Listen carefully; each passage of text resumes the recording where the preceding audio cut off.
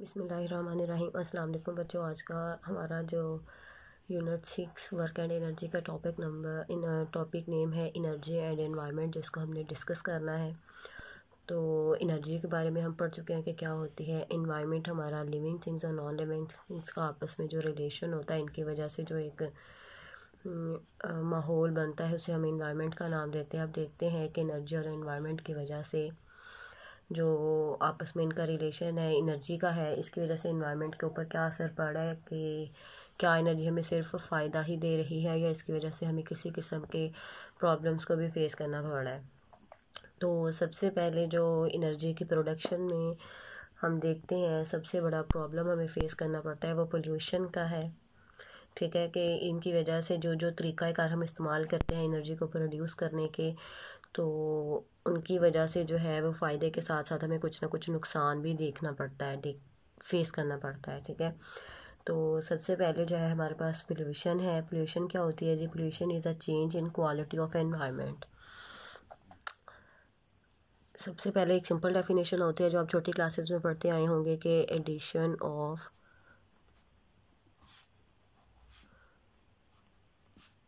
unwanted material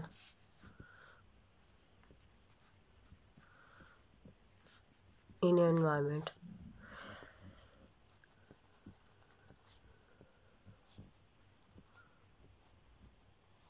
इसका all pollution ठीक है? एक तो आपने पोल्यूशन ये देखा था डेफिनेशन के लिए कि पोल्यूशन क्या होती है हमारे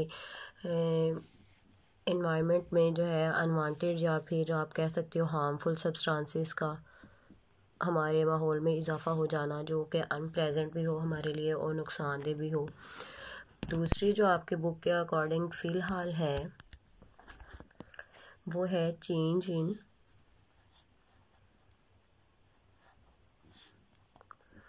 quality of environment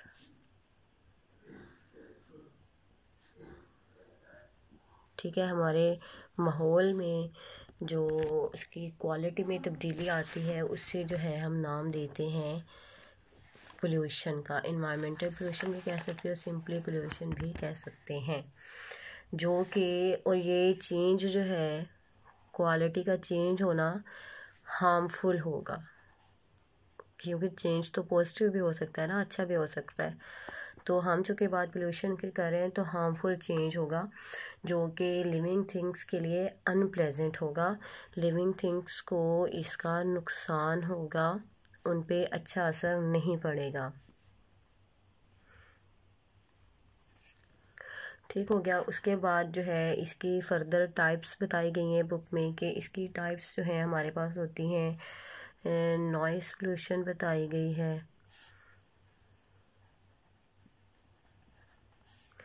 फिर एयर पोल्यूशन बताई गई है। एंड वाटर पोल्यूशन बताई गई है।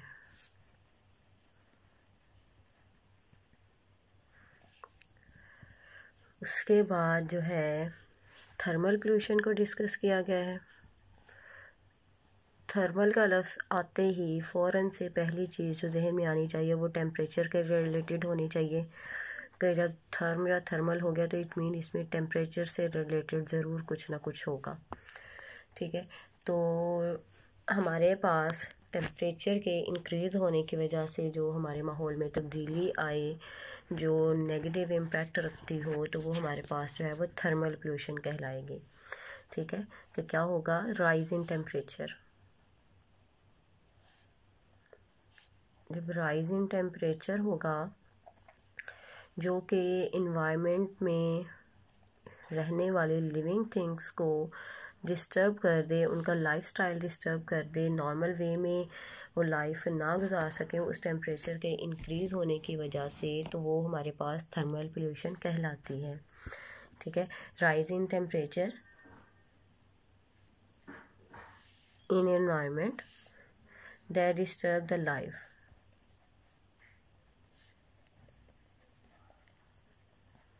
that disturbs the life is called thermal pollution thermal pollution का इफ़ेक्ट क्या होता है जी? इसकी वजह से एक तो सिंपली uh, मैंने आपको बताया कि वो लाइफ स्टाइल को डिस्टर्ब करता है तो इसका मतलब है कि uh, जो लिविंग uh, थिंग्स का लाइफ का एक स्टाइल चल रहा है उसमें इम्बेलेंसिंग हो जाएगी। उनकी लाइफ नॉर्मल नहीं रहेगी ठीक नहीं रहेगी ठीक है? और ये जो है बहुत सी स्पीशीज़ की लाइफ को भी ख़तरे में डाल देता है। ठीक है।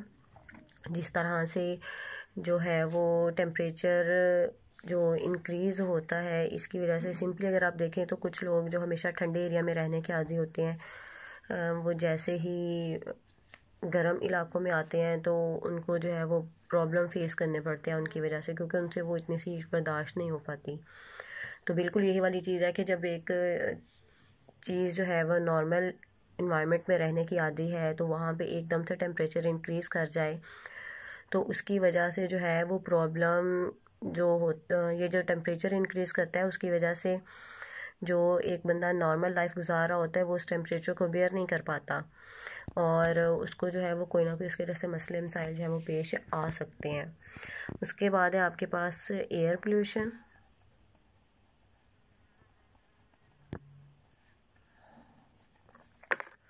ठीक है एयर पोल्यूशन जो है आपके पास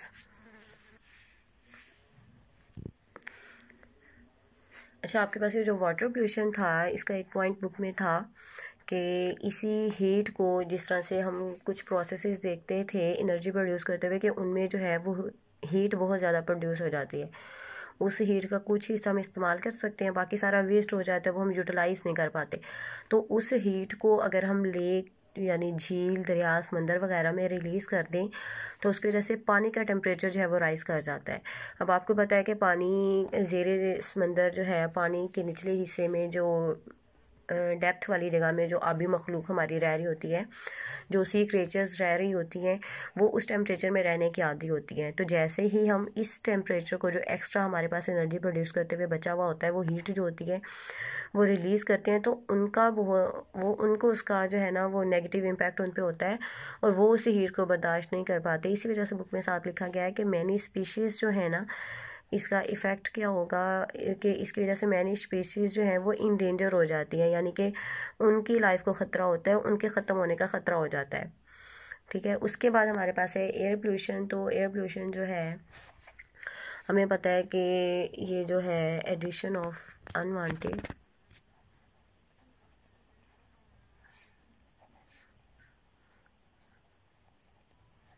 and harmful substances to, या in air is called air pollution ठीक है? और नेक्स्ट इसके एयर पोल्यूटेंट्स को भी बुक में डिस्कस किया गया है। तो एयर पोल्यूटेंट्स जो हैं, हमारे पास होते हैं, यही वाले unwanted and harmful substances that pollute the air ठीक है? Unwanted and harmful substances.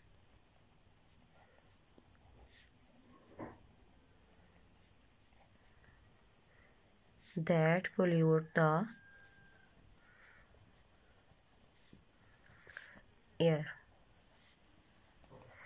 कि हमारे इन्वायरमेंट को, हमारी एयर को जो सब्सटेंसेस जो मटेरियल जो हैं, वो पोल्यूट करेंगे, उन्हें हम एयर पोल्यूटेंट्स का नाम देंगे। नेचुरली जो है, वो हमारे पास एयर पोल्यूटेंट्स कुछ नेचुरली भी डिस्कस किए गए हैं, कुछ ह्यूमन एक्टिविटीज़ की वजह से भी डिस्कस किए गए हैं। तो नेचुरली जो है, हमारे पास बताए गए हैं वोल्केनो एरप्शन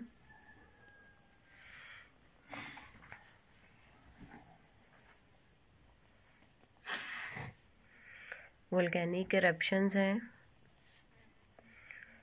फॉरेस्ट फायर्स हैं।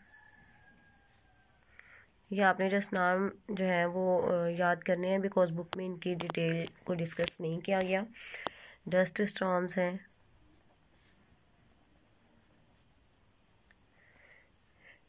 और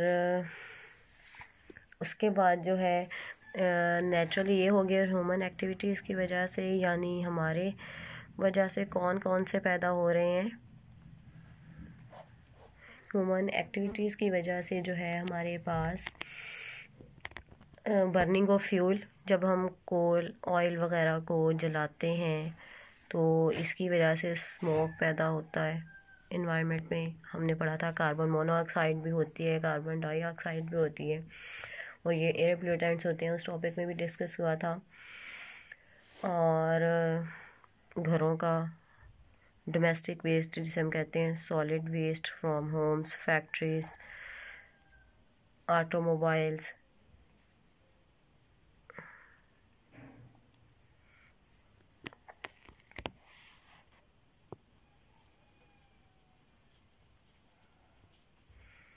factories वगैरह का स्मोक ये तमाम चीज़ें जो है, ये हमारे इन्वायरमेंट में पोल्यूशन का बायस बन रही हैं, ठीक है?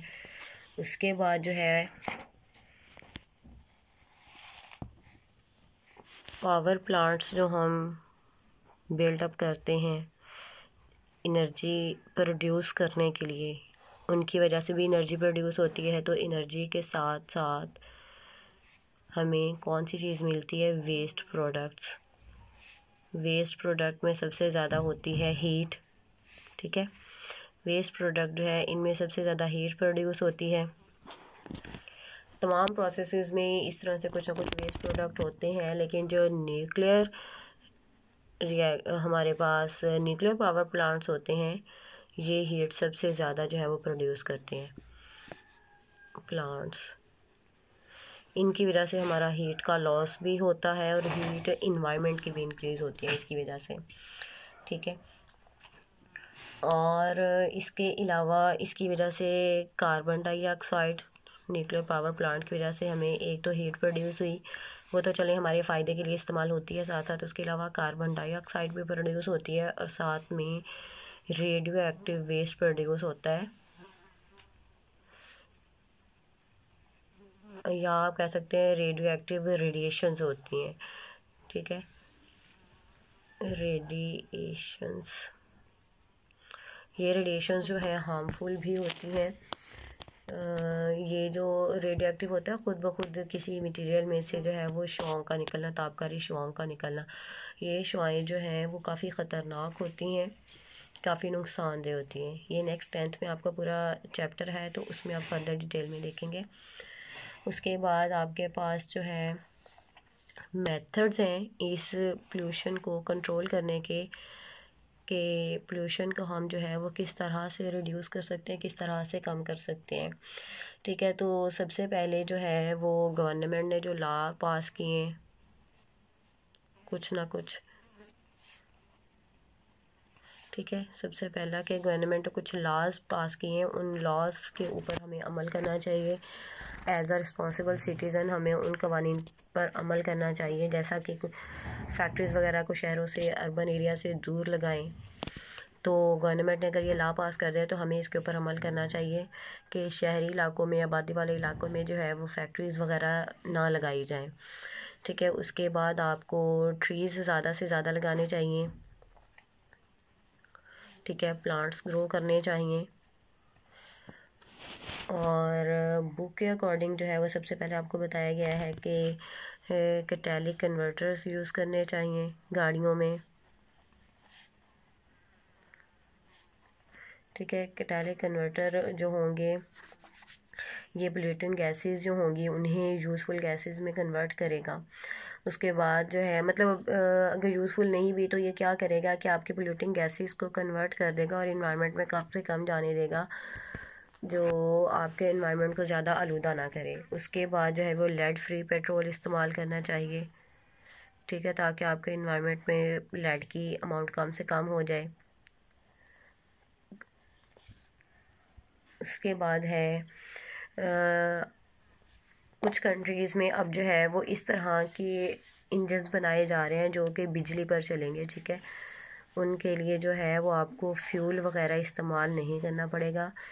तो हमें जो है वो इस तरह की टेक्नोलॉजी इंट्रोड्यूस करवानी चाहिए कि जो लेड वाला पेट्रोल या फ्यूल डीज़ल वगैरह जो है पेट्रोल वगैरह इनको इस्तेमाल ना करें, बल्कि वो इलेक्ट्रिसिटी पे चले ताकि इसकी वजह से पोल्यूशन ना पैदा हो इतनी। ठीक है, उसके बाद जो है वो पब्लिक ट्रांसपोर्ट को यूज़ करना चाहिए। ठीक है ख़ुद सोचें कि एक बंदा जो है वो पब्लिक ट्रांसपोर्ट को इस्तेमाल करता है तो पब्लिक ट्रांसपोर्ट मीन कि हम जो जो टैक्सीज वगैरह को इस्तेमाल करते हैं तो एट ए टाइम एक गाड़ी में चार लोग सफ़र कर सकते हैं। ठीक है, अगर, और दूसरा जो है वो अपनी प्राइवेट कन्वेंस का इस्तेमाल करता है तो वो जो है वो चार लोग गाड़ी पे जाने के लिए अपनी चार अलग अलग गाड़ियाँ इस्तेमाल करेंगे। तो जहाँ पे चार गाड़ियाँ इस्तेमाल करेंगे, पेट्रोल भी उतना ज़्यादा इस्तेमाल करेंगे। एक तो वो इकनॉमिकल हो जाएगा कि हमें जो है उतना ज़्यादा पेट्रोल इस्तेमाल करना पड़ेगा। और दूसरा जो है वो ट्रैफ़िक जैम होगी।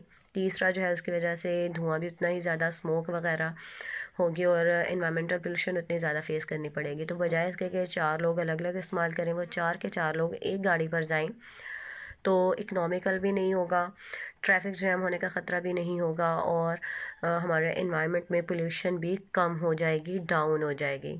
ठीक है? तो हर इंडिविजुअल को जो है वो कंट्रीब्यूट करना चाहिए अपने इन्वायरमेंट को सेव रखने के लिए साफ़ सुथरा रखने के लिए।